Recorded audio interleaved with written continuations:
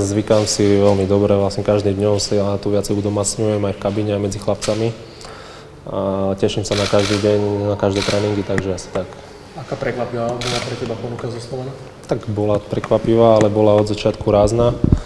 Proste od eh, prvého dňa sme si povedali, že čo a ako a tam už nebolo o čom riešiť veľmi, takže ako v prvej lige som už bol v Košiciach, ale ako samozrejme z druhej ligy do prvej ligy a ešte taký skok, že zo Serede do Slovanu, to nie je jednoduché. Tá ponuka ma veľmi potešila a ujal som sa aj s tým, že budem na sebe toto pracovať. Rozprával som s trénerom, vieš do akej pozície, teda nemyslím ako hrácké, ale jednotka, dvojka a ako to vyzerá?